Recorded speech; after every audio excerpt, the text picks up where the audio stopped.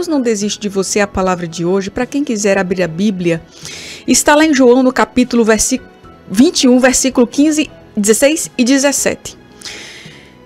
João, Evangelho de João, 21, versículo 15, 16 e 17. Vamos ler? Vamos ler a palavra de Deus? Vai chegando aí, vai compartilhando, leva essa palavra para mais alguém, tá bom? E depois de terem jantado, disse Jesus a Simão Pedro: Simão, filho de Jonas, tu me amas? E ele respondeu: Sim, Senhor, tu sabes que eu te amo. E Jesus disse-lhe: Apacenta os meus cordeiros.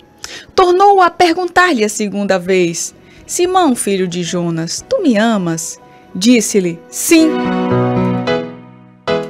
Senhor, tu sabes que eu te amo. Disse-lhe: Apacenta minhas ovelhas. Disse-lhe a terceira vez: Simão, filho de Jonas, tu me amas? Simão entristeceu-se por ter lhe dito a terceira vez: Tu me amas? E ele disse: Senhor, tu sabes de tudo. Tu sabes que eu te amo. E Jesus lhe disse: Apacenta as minhas ovelhas. Amado, amada do Senhor Jesus. Com essa palavra, a gente começa a perceber como nosso Deus, ele sempre nos busca, ele sempre vem ao nosso encontro. Deus, ele não abre mão da nossa vida.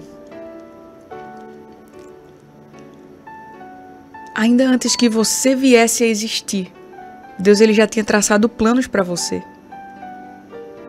Ele já te via lá, ainda como substância informe, como disse o salmista.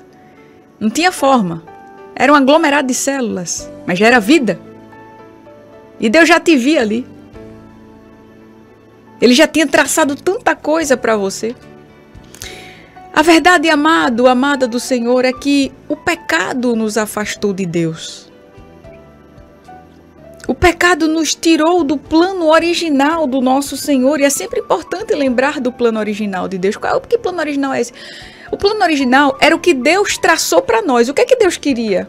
Ele queria que a gente fosse como Adão, como Eva. Não tivéssemos vergonha de Deus, não falhássemos para com Deus, não entristecêssemos o coração de Deus, não tivéssemos cerimônias para entrar diante de Deus, almejássemos constantemente a presença de Deus. Era assim. Lá no Éden, Adão, Eva viviam assim com Deus conversando, como eu, como eu tô falando aqui com você. Você não está me ouvindo? Pronto. Deus falava com Adão, Adão falava com Deus. Era esse o relacionamento ideal. Imagina a gente vivendo na terra, né? E Deus falando conosco. Deus, isso aqui eu devo fazer. Faça, minha filha, vá por aqui. Não, mas o que, que acontece? Não é assim como Deus planejou. Por quê? Por conta do pecado. O pecado nos afastou. E hoje, infelizmente, nós falhamos. Deus ele nos dá o livre-arbítrio, ele nos deixa escolher. Você escolhe seu caminho. Agora, eu vejo com muita satisfação aqui alegria no meu coração. Deus, através dessa palavra, dizendo aqui: olha, mesmo você pecando, mesmo você algumas vezes sendo direcionado pela sua natureza humana corrompida, deturpada, pela sua natureza humana ímpia, sem piedade. Eu continuo te amando, minha filha. Eu continuo, continuo te amando, meu filho, porque eu sou pai. E um pai não diz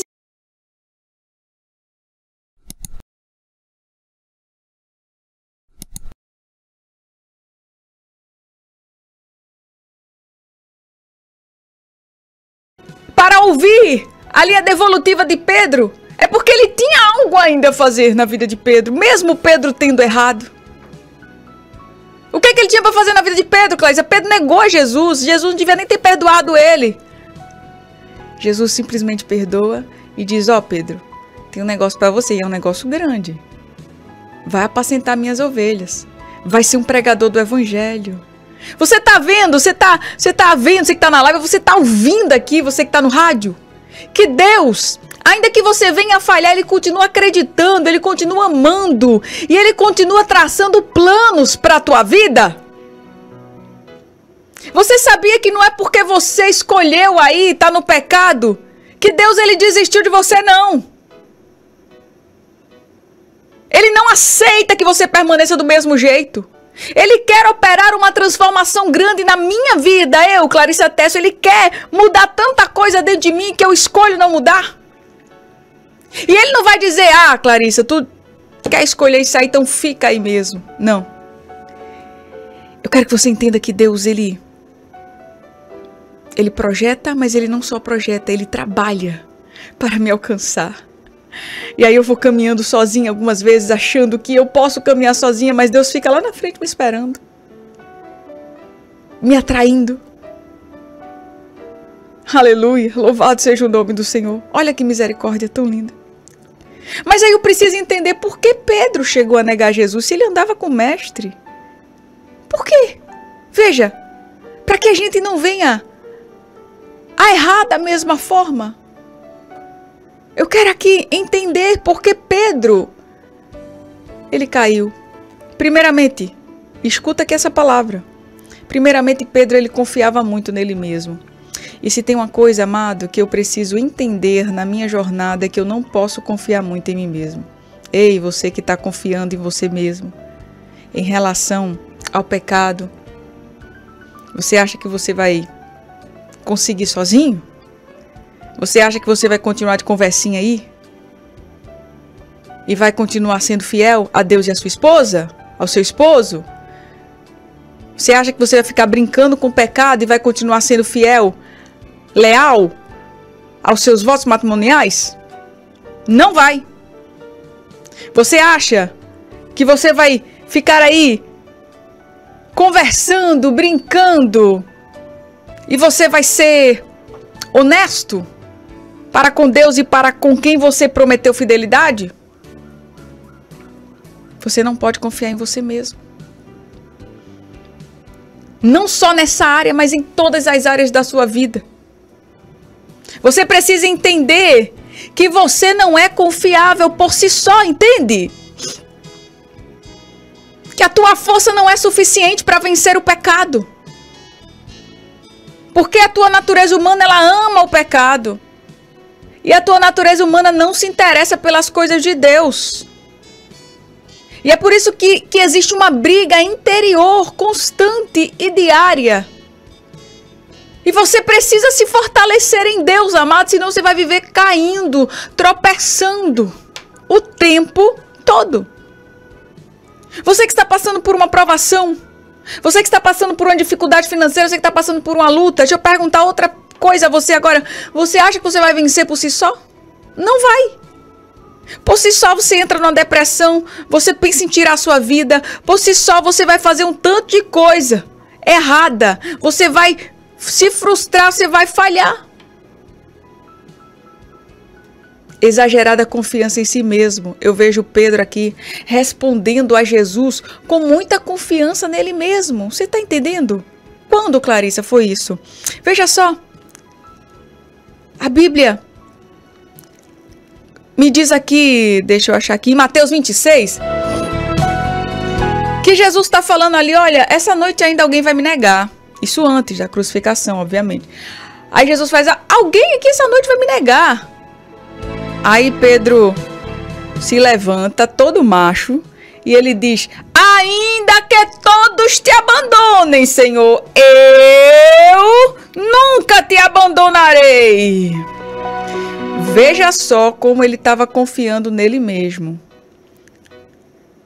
Respondeu Jesus: Eu te asseguro, ainda esta noite, antes que o galo cante, três vezes você me negará. Mas Pedro ele declara: mesmo que seja preciso que eu morra contigo, Senhor, eu nunca te negarei. Nunca te negarei, Senhor. Olha Pedro como ele se achava forte. Ele achava que era uma rocha, né? Confiou exageradamente em si mesmo. Não foi humilde. Maldito homem que confia no homem. Maldito homem que confia em si mesmo. Confiou muito em si por si só. Aleluia, aleluia, aleluia, aleluia, aleluia.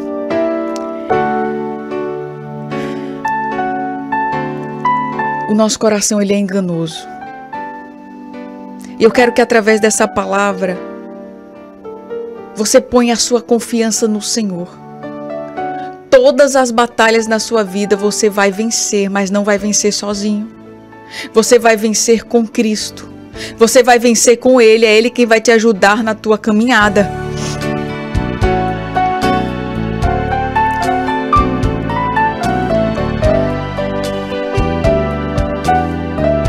aqui que eu não posso ficar confiando nos meus sentimentos, eu não posso ficar confiando no meu coração. Eu preciso desconfiar de mim mesmo. Você tá entendendo? Ei, escuta. Você que, que acha aí que tem muita maturidade espiritual para ficar na frente de uma novela todo dia, você que acha que tem muita maturidade espiritual para ficar assistindo esse Big Brother o dia todo e não se contaminar, né? Porque tem um dia todo, pode assistir pelas redes sociais, né? Tem gente que tem uma assinatura aí. Ou, ou de noite, eu não sei nem que horas passa esse negócio. Eu, eu, eu, eu não sei de nada desse negócio aí. Olha, quando eu olho, eu só tenho raiva. Eu só tenho raiva dessas programações. Você que acha que você tem maturidade para ficar assistindo essas coisas? Deixa eu falar uma coisa para você. Não me entenda como chata. Isso aí tá te contaminando. Isso aí tá acabando com a tua mente, com os teus princípios. Tá te sujando por dentro, você entende? E ei, não se engane. Você não tem maturidade, não. Não existe esse negócio. Não existe esse negócio de, ah, eu tenho maturidade, que eu sou blindado e fica lá. Ora, a Bíblia diz: não porás coisas mais diante dos teus olhos. Aí tá você aí assistindo novela, assistindo essas porcaria, assistindo pornografia. Por quê? Porque tá confiando em si mesmo. Tá confiando que não se contamina, quando a Bíblia está dizendo que se contamina sim, que se engana sim, porque o coração do homem é enganoso. Tenha muito cuidado com o que você coloca diante dos seus olhos, amado. Porque isso te atrapalha na tua jornada, você não tem noção. Não pense que isso aqui é só com as crianças, não. Com as crianças é pior, porque é um papel em branco. Papel em branco escreve quem quer. E aí forma a, ali é, todo o entendimento infantil. Se você quiser ensinar uma criança que menino nasce menina, você, menino nasce menina e menina nasce menino e que tudo é uma construção social, você ensina com adulto, né, com a gente, vamos falar assim, é mais difícil, mas se contamina sim. E a Bíblia diz que se contamina quando ela nos mostra o cuidado de, do que nós colocamos diante dos nossos olhos. A Bíblia também diz: olha, tudo que é correto, tudo que é puro, tudo que é de boa, boa, boa fama, olha, tudo que for. As coisas boas, que isso tome a sua mente, que isso preencha a sua mente. O que você tem preenchido sua mente? Ah, mas eu, eu sei, Clarice, que isso aqui eu posso assistir quando eu quiser, isso aqui não me, não me contamina. Contamina. Você não pode confiar nesse teu coraçãozinho. Porque a Bíblia diz que ele te engana, você tá entendendo? Você precisa ser radical com as coisas, não assista isso aqui, ponto final. Isso aqui não entra na minha casa e ponto final, porque eu sou uma pessoa de Deus. Eu não quero conversa aqui com esse pecado. Eu não quero me, me sujar, eu quero me limpar cada dia. E como é que a gente se limpa? É com a palavra. A Bíblia diz que a palavra é como águas purificadoras, ela é como um rio, passa dentro da gente. Olha, isso aqui que eu tô falando para você tá limpando você, ó. Sua mente aqui, ó. Vai limpando, limpando, limpando, limpando. Isso aqui é a palavra de Deus. Você vai ficando limpo. Agora você não pode ficar limpo daqui a pouco e ali igual um porquinho na lama se sujar de novo, não. Fica limpo. E se limpa cada dia mais, se purifica cada dia mais com a palavra de Deus. Você vai ser uma pessoa melhor, uma mãe melhor, uma esposa melhor, uma trabalhadora melhor. Pode ter certeza disso. Uma filha melhor. Uma cristã melhor. Quando você se deixa ser limpa, ser limpo com a palavra de Deus. Pedro se achava forte. Pare de se achar forte. Forte é Deus em você. Você vence porque Deus luta com você. Agora, meu irmão, deixa eu falar uma coisa para você. Se Deus tira a mão, ó, você tá assim. As mãos de Deus estão sobre você. Agora, se Deus tira a mão de você, coitado de você, coitado de mim, coitado de todos nós. Se não fosse o Senhor, você não pode achar que você é forte porque você é fraco, entende? Pode pôr isso na sua mente. Eu sou forte com Deus, agora eu, por mim mesma, eu sou fraca. Então eu não posso brincar. Eu não posso achar que eu sou uma rocha. Eu não posso confiar exageradamente em mim mesma. Eu preciso ter humildade para admitir. Eu não venço sozinha. Eu não venço sem Jesus. Aleluia, aleluia. Outra coisa que eu aprendo aqui com Pedro é que ele se considerou melhor do que os outros. Veja, além dele entender que ele era muito forte, pois ele demonstrou um alto nível de confiança em si mesmo. Agora ele ainda se considera melhor do que todos os outros que estavam ao redor dele, porque ele diz assim: Ainda que todos te abandonem, Senhor, eu nunca te abandonarei. Eu imagino que Pedro ele olhava com orgulho para os colegas dele, ali, os discípulos. Ele olhava assim, dizendo: Olha só, Fulano, olha Judas, olha João, olha Tiago. Eu não, eu não. Eles podem até negar, porque um dia eu já vi até ele titubeando ali, ele, ele questionando Jesus ali, colar. Mas eu, a minha fé é muito grande. Eu sou melhor do que todos. Amado, tenha muito cuidado. Não se considere superior a ninguém. Certa vez Jesus chegou ali dentro da, de uma casa com os seus discípulos, ele pegou uma toalhinha, ele pegou uma baciazinha de água e ele saiu lavando pé por pé cada discípulo, ele pôs ali o pezinho na bacia, jogou uma aguinha. Isso aqui era uma atividade para os, os, os menores servos, né? Porque existia também uma hierarquia entre os servos. Existiam os servos que gerenciavam a casa, existiam os servos que cuidavam ali da comida, dos animais, e existiam os servos inferiores, que eram os servos que lavavam os pés de quem chegavam ali das caminhadas longas no, no, no deserto, na areia, não é? com, aquelas, com aquelas sandálias. Aí Jesus fez: Eu vou me tornar o menor dos servos e eu vou limpar o pé dos meus discípulos, porque eu não me considero melhor do que ninguém. Jesus ali deu um verdadeiro exemplo de humildade, aleluia. Mas Pedro deu um exemplo ali de superação superioridade. Ele respondeu: Senhor, teus discípulos não são tão confiáveis quanto eu, mas eu sou confiável sim.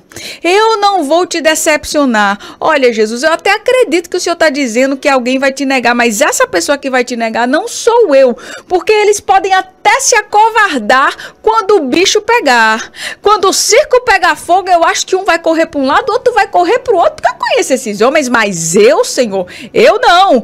Eu não vou me acovardar. Eu estarei ao teu lado, Senhor. Eu vou morrer por esse Cristo. Provérbios 16 e 18 diz que a soberba precede a ruína e a altivez do espírito, ou seja, o orgulho, precede a queda. É outra coisa que eu preciso aprender, amado, amada do Senhor.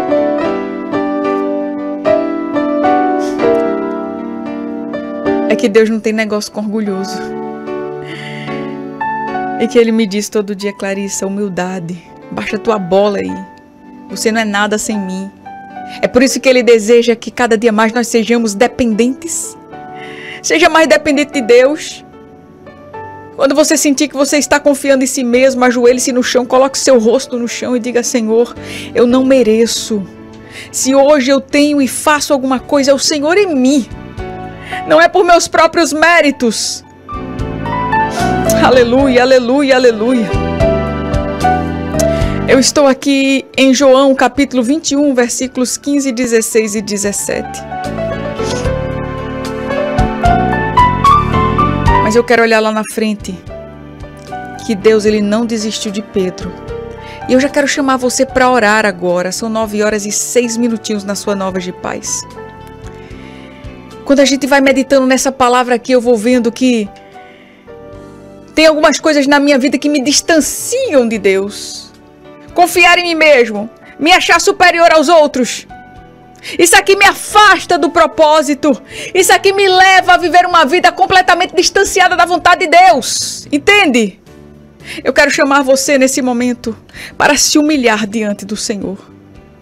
Eu quero convidar você nesse momento, amado, a entender que mesmo as lutas sendo muito grandes, você não vai desistir porque Jesus não vai desistir de você e que você precisa baixar a sua cabeça apenas diante de Deus.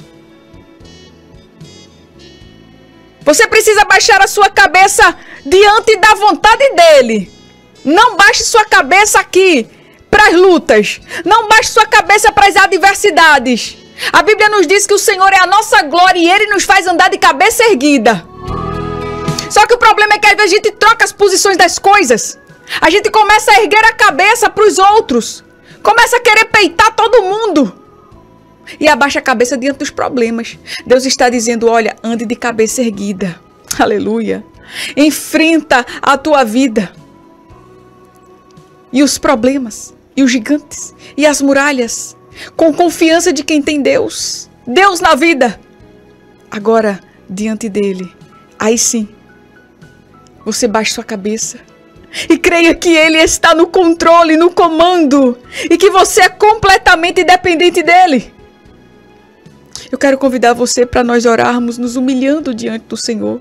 A nossa irmã Isabelle Xavier já está de joelhos. Vamos falar com o nosso Deus, Franciele, Fátima, Gorete, Alexandra Lima, a irmã Marinete, a irmã Rosa.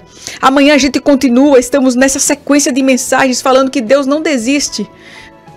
Ele não olha para os nossos erros, para as nossas fraquezas, para os nossos defeitos. Ele continua nos amando.